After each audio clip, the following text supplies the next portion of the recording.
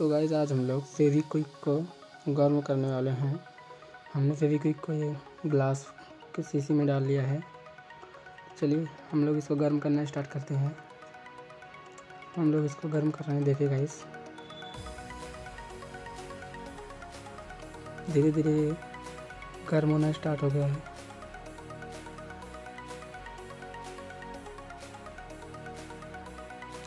आप लोग देख सकते हैं, बुलबुले उठना चालू हो गए हैं।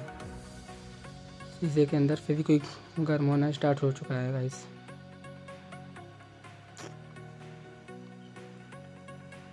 थोड़ी देर गर्म करने के बाद बहुत तेज़ी से मतलब बुलबुले निकल रहे हैं। उबल रहा है, देखिए।